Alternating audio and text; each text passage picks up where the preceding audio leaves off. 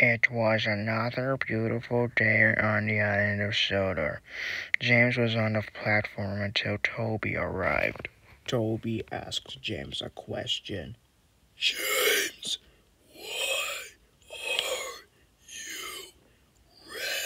why are you red?